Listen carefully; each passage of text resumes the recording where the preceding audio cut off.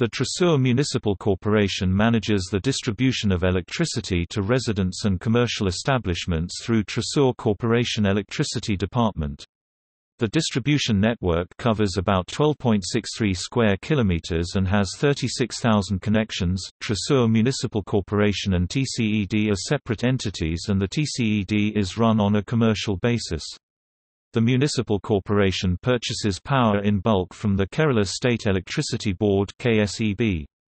The budget for this operation, however, is separately prepared and is not included in the annual municipal corporation budget.